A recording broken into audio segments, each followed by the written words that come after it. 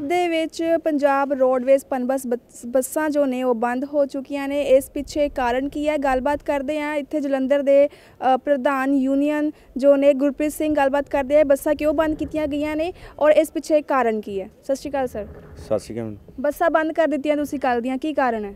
ਕੱਲ 12 ਵਜੇ ਤੋਂ ਸਾ- ਅਸੀਂ 12 ਵਜੇ ਤੱਕ ਸਰਕਾਰ ਨੂੰ ਟਾਈਮ ਦਿੱਤਾ ਸੀ ਤਿੰਨ ਮੰਗਾਂ ਸੀ ਸਾਡੀਆਂ। ਇੱਕ ਸਾਡੀ ਤਨਖਾਹ ਨਹੀਂ ਸੀ ਆਈ। ਇੱਕ ਚੰਡੀਗੜ੍ਹ ਡੀਪੂ ਦੇ ਤਿੰਨ ਸਾਡੇ ਮੁਲਾਜ਼ਮ ਨਜਾਇਜ਼ ਰਿਪੋਰਟਾਂ ਕਰਕੇ ਇਹਨਾਂ ਨੇ ਉਹਨਾਂ ਨੂੰ ਡਿਊਟੀਆਂ ਤੋਂ ਫਾਰਗ ਕਰਤਾ ਸੀ ਇੱਕ ਮੋਗੇ ਡੀਪੂ ਦਾ ਜਿਹੜਾ ਡਿਊਟੀ ਰੋਟਾ ਜਿੱਦਾਂ ਪਹਿਲਾਂ ਡੀਪੂ ਵਿੱਚ ਬੰਦਾ ਸੀ ਉਹ ਡੀਪੂ ਵਿੱਚ ਬੰਦ ਦੀ ਬਜਾਏ ਚੰਡੀਗੜ੍ਹ ਇੱਕ ਹਫ਼ਤੇ ਦਾ ਪੂਰਾ ਬਣਾ ਕੇ ਭੇਜਣ ਪਈ। ਉਹਦੇ ਵਿੱਚ ਸਾਨੂੰ ਬਹੁਤ ਜ਼ਿਆਦਾ ਪਰੇਸ਼ਾਨੀ ਕਿਸ ਨੂੰ ਕੋਈ ਐਮਰਜੈਂਸੀ ਕੰਮ ਪੈ ਜਾਂਦਾ ਸੀ ਉਹਨੂੰ ਛੁੱਟੀ ਰੈਸਟ ਨਹੀਂ ਸੀ ਮਿਲਦੀ। ਇਹਨਾਂ ਤਿੰਨਾਂ ਮੰਗਾਂ ਨੂੰ ਲੈ ਕੇ ਅਸੀਂ 12 ਵਜੇ ਤੱਕ ਸਰਕਾਰ ਨੂੰ ਟਾਈਮ ਦਿੱਤਾ ਸੀ ਮਹਿਕਮੇ ਦੇ ਅਫਸਰਾਂ ਨੂੰ। ਪਰ ਸਾਡਾ ਮਸਲਾ ਹੱਲ ਨਹੀਂ ਹੋਇਆ। ਫਿਰ 12 ਵਜੇ ਤੋਂ ਬਾਅਦ ਅਸੀਂ ਜਿਹੜੀਆਂ ਉਹ ਬੱਸਾਂ ਲਗਾਤਾਰ ਉਹਨਾਂ ਚਿਰ ਬੰਦ ਰੱਖੀਆਂ। ਚਾਲੂ ਆ ਜਿੰਨਾ ਚਿਰ ਇਹ ਜਿਹੜਾ ਮਸਲਾ ਸਾਡਾ ਹੱਲ ਨਹੀਂ ਹੁੰਦਾ। ਟੋਟਲ ਕਿੰਨੀਆਂ ਬੱਸਾਂ ਨੇ ਜਲੰਧਰ ਦੇ ਵਿੱਚ ਜੋ ਚੱਲ ਰਹੀਆਂ ਨੇ ਬੰਦ ਕੀਤੀਆਂ ਗਈਆਂ ਨੇ? ਜਲੰਧਰ ਇੱਕ ਡਿਪੂ ਦੇ ਵਿੱਚ 100 ਬੱਸ ਆ ਜਿਹੜੀ ਪੂਰੀ ਮੁਕੰਮਲ ਤੌਰ ਤੇ ਪਨ ਬੱਸ ਦੀ ਬੰਦ ਪਈ ਆ। 180 ਦੇ ਲਗਭਗ ਮੁਲਾਜ਼ਮ ਆ ਸਾਡੇ ਡਿਪੂ ਦੇ ਜਿਹੜੇ ਆ ਵਸ- ਵਕਤ ਹੜਤਾਲ ਤੇ ਬੈਠੇ ਆ। ਹੂੰ। ਕੀ ਮੰਗ ਕੀ ਕਰਦੇ ਹੋ? ਮੰਗ ਇਹੋ ਵੀ ਪਹਿਲੋਂ ਤਾਂ ਸਾਡੀ ਜਿਹੜੀ ਤਨਖਾਹ ਅੱਜ ਕਹਿੰਦੇ ਆ ਜਾਊਗੀ। ਦੇਖੋ ਅੱਜ ਕਿੰਨੇ ਵਜੇ ਤੱਕ ਆਉਂਦੀ ਆ। ਉਸ ਤੋਂ ਬਾਅਦਾਂ ਜਿਹੜੇ ਉਹ ਸਾਡੇ ਤਿੰਨ ਮੁਲਾਜ਼ਮ ਆ ਉਹ ਡਿਊਟੀਆਂ ਤੇ ਲਏ ਜਾਣ। ਉਸ ਤੋਂ ਬਾਅਦਾਂ ਜਿਹੜਾ ਉਹ ਡਿਊਟੀ ਰੋਟਾ ਉਹ ਜਿੱਦਾਂ ਪਹਿਲੋਂ ਬਣਦਾ ਸੀ ਉਦਾਂ ਹੀ ਬਣੇ। ਇਹਨਾਂ ਤਿੰਨਾਂ ਮੰਗਾਂ ਦਾ ਜਿੰਨਾ ਚਿਰ ਹੱਲ ਨਹੀਂ ਹੁੰਦਾ ਉਹਨਾਂ ਚਿਰ ਜਿਹੜੀ ਹੜਤਾਲ ਹੈ ਲਗਾਤਾਰ ਜਾਰੀ ਰਹੇਗੀ। ਧੰਨਵਾਦ। ਸਰ ਤੁਹਾਡਾ ਕੀ ਕਹਿਣਾ ਹੈ ਇਸ ਬਾਰੇ?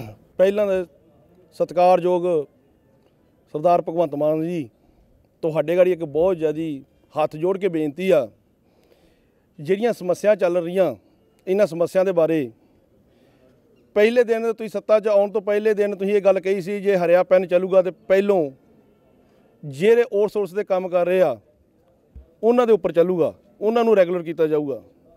ਇੱਕ ਪੰਜਾਬ ਦੇ ਵਿੱਚ ਕਹਾਵਤ ਬਹੁਤ ਲੰਬੀ ਆ, ਕਹੀ ਜਾਂਦੀ ਆ ਕਿ ਦੁੱਧ ਦਾ ਵੀ ਸੜਿਆ ਨਾ, ਪਾਣੀ ਫੂਕਾ ਮਾਰ ਕੇ ਪੀਂਦਾ। ਹੁਣ ਬਹੁਤ ਸਾਰੇ ਕਹਿਣ ਦੀ ਗੱਲਾਂ ਜੀ, ਸਰਕਾਰ ਨਹੀਂ ਆਈ ਆ 2 ਮਹੀਨੇ ਹੋਏ ਆ। ਪਰ ਅਸੀਂ ਬਾਰ-ਬਾਰ ਜਿਹੜੀਆਂ ਸਰਕਾਰਾਂ ਆਈਆਂ, ਉਹਨਾਂ ਦੀਆਂ ਧੱਕੇਸ਼ਾਹੀਆਂ 15-15 ਸਾਲ ਹੋ ਗਏ ਸਾਨੂੰ। ਅਸੀਂ ਹੁਣ ਕਿੰਨਾ ਕੁ ਇੰਤਜ਼ਾਰ ਕਰੀਏ? ਇਸ ਕਰਕੇ ਆ ਵੀ ਸਰਕਾਰ ਗਾੜੀ ਸਾਡੀ ਬੇਨਤੀ ਆ ਵੀ ਕਿਰਪਾ ਕਰਕੇ ਜਿਹੜੀਆਂ ਸਾਡੀਆਂ ਮੁਸ਼ਕਲਾਂ ਵਾ ਇਹ ਨਾਲ ਧਿਆਨ ਦਿੱਤਾ ਜਾਵੇ ਔਰ 2 ਮਹੀਨੇ ਤੋਂ ਬਾਅਦ ਸਾਨੂੰ ਤਨਖਾਹ ਮਿਲਦੀ ਆ। ਜੇ ਅਸੀਂ ਕੱਲ ਬੰਦ ਕੀਤਾ ਤੇ ਤਨਖਾਹ ਦੀ ਗੱਲਬਾਤ ਚੱਲਣ ਡਿਆ ਪਈ ਆ। ਪਹਿਲੋਂ ਕਹਿੰਦੇ ਬਜਟ ਹੈ। ਨਹੀਂ ਆ ਅਸੀਂ ਸਰਕਾਰ ਗਾੜੀ ਭਗਵੰਤ ਮਾਨ ਸਾਹਿਬ ਗਾੜੀ ਬੇਨਤੀ ਕਰਦੇ ਆ ਹੋਰ ਕਿਸੇ ਅੱਗੇ ਨਹੀਂ ਕਰਦੇ। ਇਹਦੀ ਇਨਕੁਆਇਰੀ ਕੀਤੀ ਜਾਵੇ। ਜਿਹੜੀਆਂ ਸਾਡੇ ਜਿਹੜੇ ਸਾਡੀ ਤਨਖਾਹਾਂ ਲੇਟ ਕਰਦੇ ਆ ਔਰ ਜਿਹੜਾ ਆ ਬੰਦ ਦਾ ਜਿੰਨਾ ਖਜ਼ਾਨਾ ਉਹਨਾਂ ਦੇ ਉੱਪਰ ਪਾਇਆ ਜਾਵੇ ਔਰ ਉਹਨਾਂ ਦੀਆਂ ਗਲਤੀਆਂ ਕੱਢੀਆਂ ਜਾਣ। ਕਿੰਨੀ ਤਨਖਾਹ ਦਿੰਦੇ ਹੋ? ਤਨਖਾਹ ਮੈਡਮ ਸਾਨੂੰ ਮਹੀਨੇ ਵੇਜ ਮਿਲਦਾ ਹੈ। ਉਹ ਵੀ ਸਾਨੂੰ 2 ਮਹੀਨੇ ਬਾਅਦ ਮਿਲਦਾ ਔਰ ਅਸੀਂ ਜਿਹੜਾ ਕੰਮ ਆ ਜਿਹੜਾ ਪੱਕਾ ਇੱਕ ਮੁਲਾਜ਼ਮ ਉਹਦੇ ਬਰਾਬਰ ਅਸੀਂ ਕੰਮ ਕਰ ਰਹੇ ਹਾਂ। ਉਹਨਾਂ ਸੀਟਾਂ ਤੇ ਅਸੀਂ ਕੰਮ ਕਰ ਰਹੇ ਹਾਂ। ਪਰ ਜਿਹੜਾ ਸਾਨੂੰ ਫਿਰ ਵੀ ਸਾਨੂੰ ਜਿਹੜਾ ਵੇਤਨ ਬਹੁਤ ਘੱਟ ਮਿਲਦਾ ਉਹ ਵੀ ਸਾਨੂੰ 2-2 ਮਹੀਨੇ ਇੰਤਜ਼ਾਰ ਕਰਨਾ ਪੈਂਦਾ। ਕਈ ਗੱਲਾਂ ਹੁਣ ਤੁਸੀਂ ਵੇਖੋ ਆਧਾਰ ਕਾਰਡ ਦੇ ਉੱਪਰ ਜਿਵੇਂ ਚੱਲ ਰਿਹਾ ਜਿੱਦਾਂ ਹੁਣ ਤੁਸੀਂ ਬੰਦਿਆਂ ਦਾ ਸ਼ੋਸ਼ਣ ਹੀ ਲਾ ਲਓ ਕੀਤਾ ਜਾਂਦਾ ਹੁਣ 100-100 ਦੇ ਉੱਪਰ ਸਵਾਰੀ ਹੋ ਜਾਂਦੀ ਆ। ਕੋਈ ਡਿੱਗ ਕੱਲ ਇੱਕ ਘਟਨਾ ਹੋਈ ਆ ਢਲਵਾਂ ਟੂਲ ਟੈਕਸ ਦੇ ਉੱਤੇ ਲੇਡੀ ਨੇ ਚਲਦੀ ਬੱਸ ਦੇ ਵਿੱਚੋਂ ਸਾਲ ਮਾਰ ਦਿੱਤੀ ਉਹ ਸੱਟ ਲੱਗ ਗਈ। ਹੁਣ ਇੰਨੀ 50 ਸੀਟਰ ਗੱਡੀ ਆ 100 ਦੇ ਉੱਪਰ ਸਵਾਰੀ ਆ ਕਨੈਕਟਰ ਡਰਾਈਵਰ ਕਿੱਦਾਂ ਧਿਆਨ ਰੱਖ ਲੂਗਾ ਹੁਣ ਜਿਹੜਾ ਡਿੱਗ ਗਿਆ ਉਹਨੂੰ ਸੱਟ ਪੇੜ ਲੱਗੀ ਉਹ ਪੈ ਗਈ ਡਰਾਈਵਰ ਕਨੈਕਟਰ ਦੇ ਉੱਪਰ। ਡਰਾਈਵਰ ਔਰ ਕੰਡਕਟਰ ਜੋ ਹੈ ਉਹਨਾਂ ਦਾ ਡਿਊਟੀ ਟਾਈਮਿੰਗਸ ਕੀ ਨੇ? ਕੋਈ ਡਿਊਟੀ ਟਾਈਮ ਨਹੀਂ ਜੀ। ਸਾਡਾ ਕੋਈ ਡਿਊਟੀ ਟਾਈਮ ਨਹੀਂ ਆ। ਹੂੰ। ਸਾਡੀ ਰੈਗੂਲਰ ਡਿਊਟੀ ਆ। ਐਨੀ ਟਾਈਮ ਜੇ ਰਾਤ ਵੀ ਡਿਊਟੀ ਆ ਦਿਨੇ ਵੀ ਡਿਊਟੀ ਆ। ਛੁੱਟੀ ਵਗੈਰਾ ਕੋਈ ਅਨਾਉਂਸ ਛੁੱਟੀ ਸਾਨੂੰ ਰੈਸਟ ਮਿਲਦੀ ਹਫ਼ਤੇ ਬਾਅਦ ਇੱਕ। ਸਾਡਾ ਕੋਈ ਫਿਕਸ ਨਹੀਂ ਹੈਗਾ ਵੀ ਹਫ਼ਤੇ ਬਾਅਦ ਕਿਹੜੇ ਦਿਨ ਕਿਹੜੇ ਵਾਰ ਸਾਨੂੰ ਮਿਲਣੀ ਆ। ਇਹਦਾ ਕੋਈ ਨਹੀਂ ਹੈਗਾ। ਅਸੀਂ ਇਹੋ ਹੀ ਬੇਨਤੀ ਕਰਦੇ ਆ ਸਰਕਾਰਗਾਰੀ ਸਰਦਾਰ ਭਗਵੰਤ ਸਿੰਘ ਮਾਨਗਾਰੀ ਵੀ ਬੜਾ ਲੰਮਾ ਸਮਾਂ ਹੋ ਗਿਆ। ਅਸੀਂ ਮੰਨਦੇ ਆ ਵੀ ਸਰਕਾਰ ਨਹੀਂ ਆਈ ਆ, ਸਮਾਂ ਚਾਹੀਦਾ। ਸਾਡੀ ਯੂਨੀਅਨ ਦੇ ਨਾਲ ਟੇਬਲ ਟਾਕ ਕੀਤੀ ਜਾਵੇ, ਸਾਨੂੰ ਸਮਾਂ ਦਿੱਤਾ ਜਾਵੇ ਵੀ ਕਦ ਤੱਕ ਕਰਾਂਗੇ, ਕਿਉਂਕਿ ਅਸੀਂ ਪਿਛਲੀਆਂ ਸਰਕਾਰਾਂ ਦੇ ਲਾਸਟ ਟਾਈਮ ਦੇ ਆਉਣ ਦੇ ਬਾਅਦ ਉਹ ਸਾਨੂੰ ਬੁਲਾਉਂਦੇ ਸੀ, ਅਸੀਂ ਮਜ਼ਾਰੇ ਕਰਦੇ ਸੀ, ਹੜਤਾਲਾਂ ਕਰਦੇ ਸੀ, ਐਨ ਟਾਈਮ ਦੇ ਆਣ ਕੇ ਆਖ ਦਿੰਦੇ ਸੀ ਕੋਰਟ ਆਫ ਇੰਟੈਕਟ ਲੱਗ ਗਿਆ। 15 15 ਸਾਲ ਹੋ ਚੁੱਕੇ ਸਾਨੂੰ ਕੰਮ ਕਰਦਿਆਂ ਨੂੰ, ਪਰ ਸਾਡੀ ਕੋਈ ਜ਼ਰ ਨਹੀਂ ਲੱਗੀ ਜੇ, ਸਾਡੀਆਂ ਦਾੜੀਆਂ ਚਿੱਟੀਆਂ ਹੋ ਗਈਆਂ ਜੇ ਅਸੀਂ ਆਪਣੇ ਬੱਚਿਆਂ ਨੂੰ ਕੀ ਰੋਜ਼ਗਾਰ ਦੇਣਾ? ਸਾਡਾ ਆਪਣਾ ਰੋਜ਼ਗਾਰ ਹੈ ਨਹੀਂ ਆ। ਇਹ ਵਜ੍ਹਾ ਕਰਕੇ ਅੱਜ ਜਿਹੜੀ ਜਨਰੇਸ਼ਨ ਮਾ ਬਾਹਰ ਨੂੰ ਭੱਜਣ ਦੀ ਆ, ਅਸੀਂ ਉਨੇ ਯੋਗ ਵੀ ਨਹੀਂ ਹੈਗੇ ਜੇ ਕਿ ਅਸੀਂ ਆਪਣੇ ਜਿਹੜੇ ਧੀ ਪੁੱਤ ਆ, ਉਹਨਾਂ ਨੂੰ ਬਾਹਰ ਕੱਲ ਸਕੀਏ।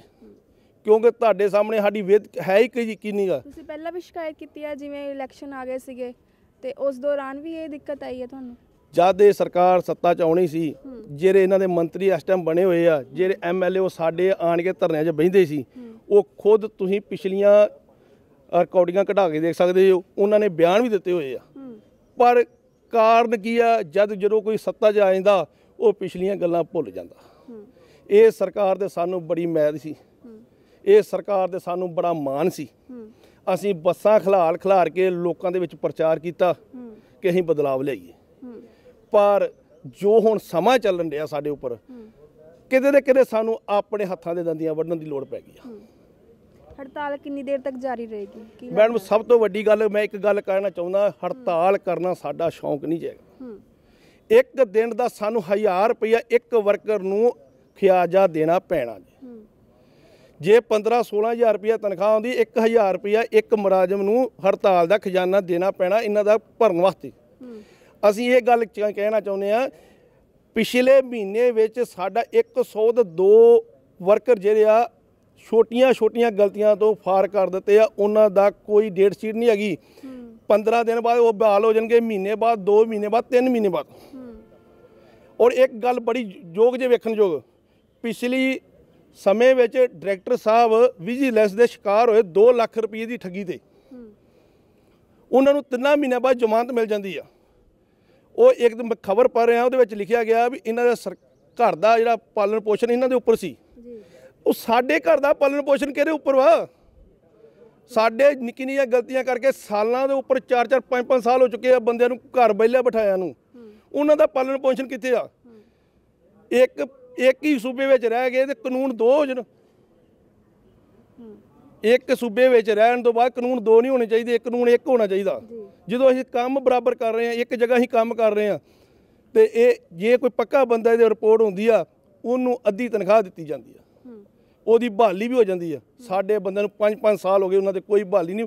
ਬਲੈਕ ਲਿਸਟ ਦਾ ਚਾਰਜ ਲਾਉਣ ਦਾ ਵੀ ਪਤਾ ਨਹੀਂ ਇਹ ਕਿੱਡਾ ਤਗੜਾ ਮਤਲਬ ਵੀ ਡਾਕੂ ਆ। ਇਹ ਪਤਾ ਨਹੀਂ ਦੂਸਰੀ ਸਟੇਟ ਤੋਂ ਆਇਆ ਏ। ਕੀ ਇਹਨੇ ਕਿਹਨਾਂ ਕਰ ਤਗੜਾ ਖਜ਼ਾਨਾ ਕਰ ਦਿੱਤਾ? ਅਸੀਂ ਇਹ ਗੱਲ ਕਰਦੇ ਆ ਮਾਨ ਸਾਹਿਬ ਦੇ ਵਾਰੀ ਬੇਨਤੀ ਕਰਦੇ ਆ ਇਹ ਸਰਕਾਰ ਇਹ ਮਹਿਕਮੇ ਦੀ ਇਨਕੁਆਇਰੀ ਕਰਾਈ ਜਾਵੇ। ਪਤਾ ਲੱਗੂਗਾ ਵੀ ਇੱਥੇ ਕਿੰਨੇ ਕੁ ਵੱਡੇ ਮਗਰਮੱਛ ਇਹ ਕਰਕੇ ਆ ਕਿਰਪਾ ਕੀਤੀ ਜਾਵੇ ਸਾਡੇ ਦੇ ਉੱਤੇ। ਸਾਡੀਆਂ ਕੋਈ ਏਡੀਆਂ ਮੰਗਾਂ ਨਹੀਂ ਹੈਗੀਆਂ। ਛੋਟੀ ਛੋਟੀਆਂ ਜਾਇਜ਼ ਮੰਗਾਂ ਵਾ। ਜਾਂ ਅਸੀਂ ਕਿਤੇ ਕੋਈ ਬਾਹਰੋਂ ਤੇ ਨਹੀਂ ਆਏ ਕਿਤੇੋਂ ਇਹ ਕਰਕੇ ਕਿਰਪਾ ਕੀਤੀ ਜਾਵੇ ਸਾਡੇ ਉੱਤੇ ਹੜਤਾਲ ਕਰਨਾ ਸਾਡਾ ਕੋਈ ਸ਼ੌਂਕ ਨਹੀਂ ਜੇ ਸਾਡੇ ਉੱਤੇ ਕਿਰਪਾਨ ਲਮਕਣ ਦੀ ਆ 1000 ਰੁਪਏ ਦੀ। ਉਹ ਸਾਨੂੰ ਵੀ ਪਤਾ ਵਾ ਜਿੰਨੇ ਦਿਨ ਅਸੀਂ ਬੰਦ ਕਰਾਂਗੇ ਇੱਕ ਵਰਕਰ ਨੂੰ 1000 ਰੁਪਇਆ ਦੇਣਾ ਹੀ ਪੈਣਾ ਵਾ। ਉਹਦੀ ਕੋਈ ਸੁਣਵਾਈ ਨਹੀਂ ਹੋਣੀ ਜੇ। ਇਹ ਕਰਕੇ ਕਿਰਪਾ ਕੀਤੀ ਜਾਵੇ ਜਿਹੜਾ ਰੋਟਾ ਵਾ ਉਹ ਡੀਪੂ 'ਚ ਬਣੇ ਤੁਹਾਨੂੰ ਦੱਸਣ ਦਾ ਵਾ ਸਾਡੀ 24 ਘੰਟੇ ਡਿਊਟੀ ਆ।